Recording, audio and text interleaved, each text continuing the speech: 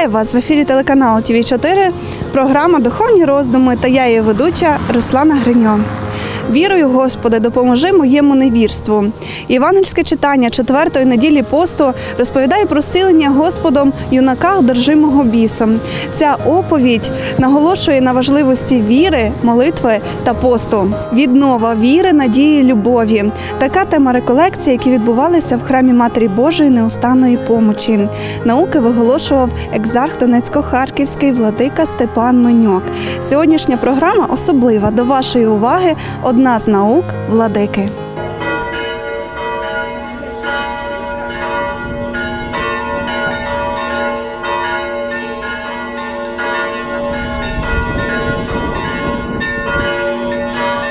Даний час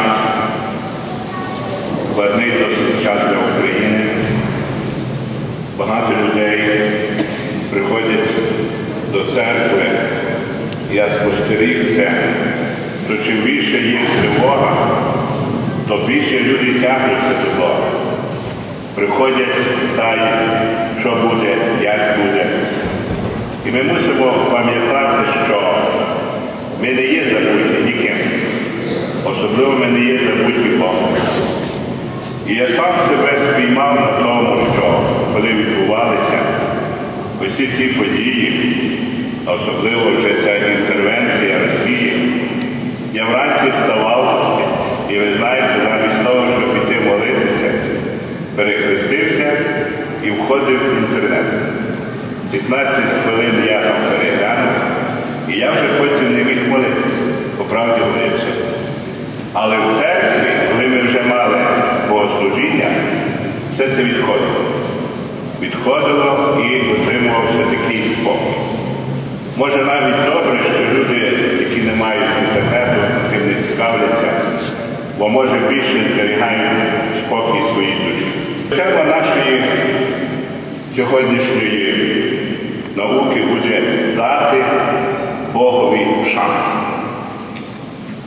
Чисельно ви приходите на ці науки, і це приємно вражає, коли я розказував нашим вірним, що не знаю, скільки це тисячу людей чи скільки.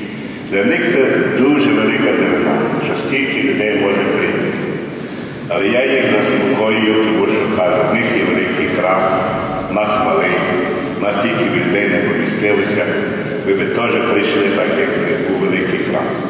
Але в них це дуже дивно, і тоді, коли я навіть мав фотографії, коли отець зробив фотографії разом з вами, я показував їм. І взагалі для них це є таке, так би сказати, дуже добре здивування. І все-таки мають добру думку про західні областя України. Хоча про нас ті середники е, засоби масової інформації різні речі говорять.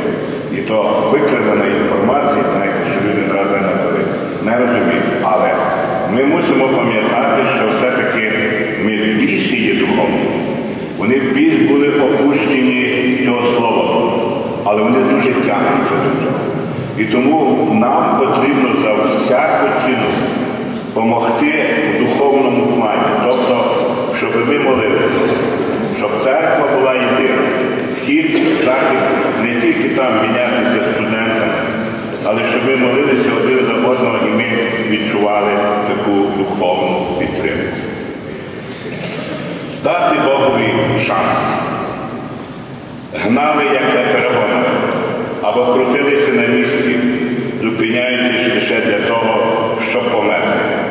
У куряві змінити крок і бігти далі.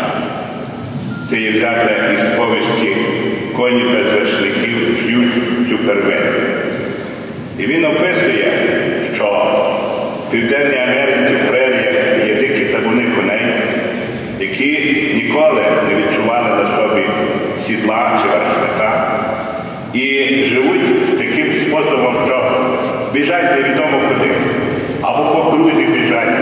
І так роками деякі коні здихають, молоді народжуються і знов біжать. І здавалося такий абсурд, абсурд в природі. Для чого це діється? І ось другий автор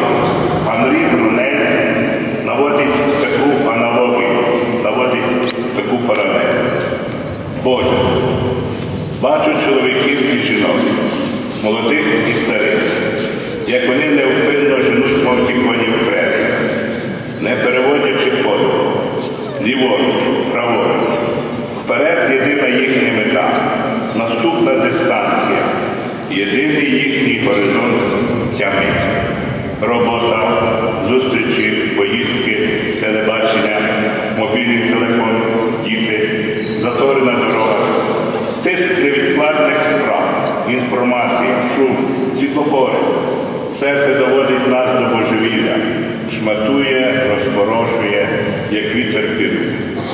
Чи саме це означає бути людиною? Чи це ми можемо назвати життям? Звичайно, він говорить і наводить приклади повседневного нашого життя. Так воно є. Кожен з нас є в цьому вирі борохливого життя і нас дуже мало знаходить часу для контакту з Богом. Настільки є закручений в повседневному житті, що немає часу підняти голову вверх і помолитися. Боже, як цій метушні почути твій голос, так він сказав. Події в Україні неймовірною швидкістю змінюють зміст і сенс нашого життя. Мітив жорстоке побиття молодих людей, знову протести, але вже з більшою силою, перші кроваві жертви, прийняття нових жорстких законів, знову виступи і майже масовий відстріл людей. І тут починається новий відвік часу. Часу, який буде цінний тим, що йде боротьба за правду і свободу. І вже життя не має вартості без тих найважливіших для життя людей цінностей, правди і свободи. Отже, щось є вище і цінніше за життя. І я особисто скажу, я був здивований такою твердістю духа, сміливістю тих молодих людей, які не боялися лізти під кулі. Особливо тих журналістів, які йшли у пекло цього вогню, щоб тільки відтворити ці події. Я подумав собі, що все-таки виросло нове покоління. Ми виховані при соціалізмі, все-таки маємо якийсь такий підшкільний страх.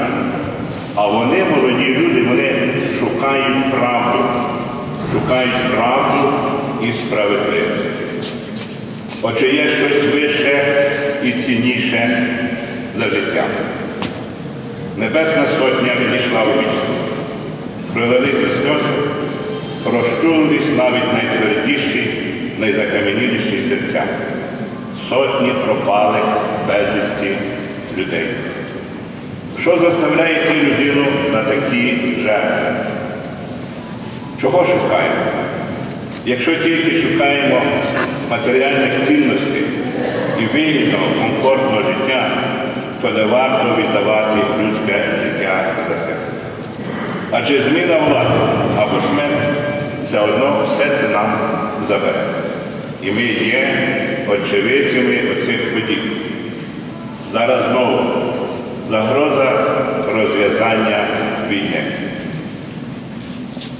І знову бачимо, скільки всілякої несправедливості, брехні, фальсу видавається на непідготовлені до сприйняття голови наших громадян, а також громадян сусідньої держави Росії. Де шукати захисту? Де знайти оцю правду? Боже, як в різноманітності цих подій почути твій голос? Ото дійсно, щоб ми не розгубилися і хто знати не шукали чого, але дійсно знаходили Бога. Я відвідав недавно одну сім'ю. Вони досить заможні люди. Не можу сказати, що вони не віруючі, не віруючі. Вони ходять до церкви, вдаються, хрещаються. Але коли ми почали говорити про небезпеку початку війни, бо зараз є дуже велика, зараз танкові дивізії підійшли, більше 100 тисяч є війська російського. то ця жінка каже, що робити? Їхати за кордон і продавати, знаєте, страх. Страх. Продавати все і виїжджати за кордон. Ми мусимо цей страх перебороти і пам'ятати про те, що Господь сказав, що все волосся на голові в нас пораховано. Ми є абсолютно не є безбородні. Ми абсолютно не є забуті. Господь знає про нас. Тільки на раз останній момент може вирішитися доля, на яку ми взагалі навіть не розраховували. Це було на Майдані, пригадуйте, коли вже було оголошено, що буде штурм і будуть очищати від терористів, Яценюк що сказав? Умру хоч кулею в голові, але не хочу жити брехнею. І так сказав, знаєте, не буде душі. І так подумалося, що дійсно він сказав щиро і правду, що можуть померти. І сталося чудо. Ці відступили, ці пішли, зовсім відступили. А потім мені один чоловік говорить, а ви знаєте, чого вони відступали, оці внутрішні війська і там беркутівці? Мало бути бомбування Майдану. Я аж перелякано не міг зрозуміти. Бомбування. Тобто вони відступили і мали кидати бомбу. Це було б страшно. Але цього не сталося. Пропав тоді п'ятий канал. Я думаю, ну все. І цей ведучий каже, ну ми ще працюємо, поки що працюємо. Потім відновляється п'ятий канал, і вранці є нова ситуація. І тут не раз останній момент рішається доля. І ми не знаємо, чому так, а не інакше сталося. Які сили це вмішалися. Але найбільша проблема є в тому, що така внутрішня тривога настільки людей тримає в облозі, що не дивно, що багато людей просто звертаються до психологів. Не треба йти до психологів. Ідіть до сповіді і робіть молитву. І особливо спільну молитву. Вдома, так як колись ми говорили, і церква сказала, що в 9 годині вечора всі спільно молитися. Де шукати захисту?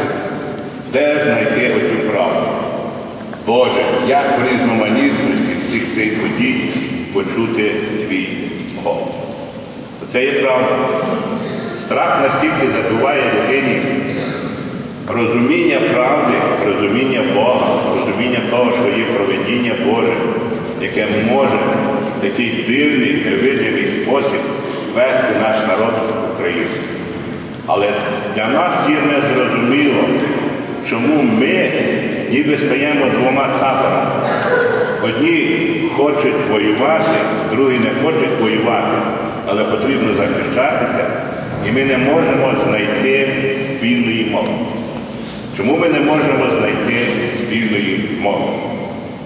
Поняття правди є тісно пов'язане зі справедливістю. Але тут на землі навіть при найдемократичніших устроях ми ніколи не будемо їх повні мати. Ніколи. Тому що людина завжди є немічна і гріховна.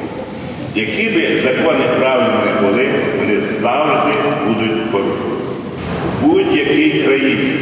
Але якщо є пріоритет закону, то все-таки людина відчуває себе захищеною. Ми не будемо мати захисту хоч найбільш демократичних країнах. То все-таки де ж це місце, де знайти таку країну, де би ми могли в повні тішатися всіма цими благами, добром, справедливістю, любов'ю, радістю, натхнінням, вихованням дітей, радістю з природи, з сонця, з води, з квіток. От тут якраз виникає таке питання. Чому на землі існують два табори людей, які не можуть знайти спільної мови у шуканні добра, хоча ніхто з них не бажає смерті і боїться її. Немає якогось морального спільного знаменника, який би мав нас об'єднати. І тут пригадуються ці слова зі Святої Євангелії. І варто нам завжди їх повторювати. Я є дорога, правда і життя. Хто йтиме за мною, не блукатиме в а матиме світло життя. Це сказав Господь наш Ісус Христос.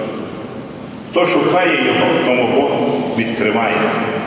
І оцю дорогу, яку ми шукаємо, оцю правду, яку ми хочемо пізнати, і оце життя, яке ми хотіли б зберегти, дає нам сам Господь наш Ісус Христос. Якби ми слухали це Слово Боже і жили згідно нього, то б знали, куди нам іти і що таке правда, і як нам жити. Христова Євангелія повинна об'єднати всю людську спільноту, єдину спільноту любові, де дійсно запанує правда. Такою спільнотою Божою є Христова Церква. Єдина свята, соборна і апостольська церква. Віра і слухання, а слухання через Слово Христове. Але цей, що не йде, не почує цього слова. І до нього будуть звернені оці слова. Увесь день я простягав свої руки до неслухняного і упертого народу. Це Господь говорить про Ізраїль. Але ми можемо кожен із нас віднести ці слова до себе. Ми не раз багато чуємо, а може і багато знаємо. Але проблема є в тому, що людина, коли аналізує своє життя, не бачить змін. Він знає і ніби знає, куди йти, але чомусь зміни йдуть дуже важко, внутрішньо. Проблема є в тому, що людина не просить, щоб Бог дав сили змінити свій. Боже, дай мені сили змінитися, щоб я йшов туди, куди я бачу, щоб я робив те, що я розумію, щоб я знав, що таке добро, що правда, що таке любов, хоча я знаю, що робив. Тут тільки через молитву ми можемо отримати оцю внутрішню силу. Отак може і до нас Господь сказати, увесь день я простягав свої руки до неслухняного і впертого народу. Мене запитували зараз люди і казали, ну чому так є, що Україна так терпить? Ми постійно терпимо, це завжди того. Хіба ми вже є найгірший народ у світі? Та не є ми найгірший народ. Один чоловік, невіруючий, такий далекий, можливо, від Бога, сказав таку річ. Якщо є Бог, то він нас особливо полюбив, українців. Чому? запитали. Ви подивіться, каже, які виняткові умови природні нам дав Бог, які чорноземи нам дав Бог. Ні одній країні, ні в державі цього не дав, а вам дав. Значить, він вас любить. Чому нас веде через такі кресні дороги? Оце для нас, бачите, таємниця. Так як піст іде і страждання Христове, а буде Воскресіння Христове, так виходить, ми мусимо в якійсь мірі очищатися. Крім того, навіть небезпека єдності народу, народ консолідує. Забуваються всі тоді різні непорозуміння, чвари, сварня. Люди об'єднуються і по-новому дивляться на світ і на його цінності. Отже, так може і до нас Господь сказати, увесь простягав свої руки до неслухняного і впертого народу. Потрібно дати Богові шанс, відірвати від всіх цих термінових справ і дати і пожертвувати час для Бога. Чому на мирному мітингу в Донецьку піднялася рука вбивці і вбила 21-річного хлопця, який був одинак своїх, своїх батьків? Не станьмо і ми жорстокими серцем. Молімось за ворогів наших. Благословляємо, не проклинаємо. Яка наша доля майбутнього? Можна знайти слова Святого Письма. Смиріться, Отже, під могутньою Божою рукою, щоб Він підняв нас вгору своєчасно. Усяку журбу вашу покладіть на нього, бо Він піклується про вас. Будьте тверезі і чувайте, а Бог усілякої благодаті, що вас покликав до вічної своєї слави в Христі, Він сам, коли постраждаєте трохи, вас удосконалить, утвердить, зміцнить, утриває. Йому слава і сила по віки вічні. Амінь.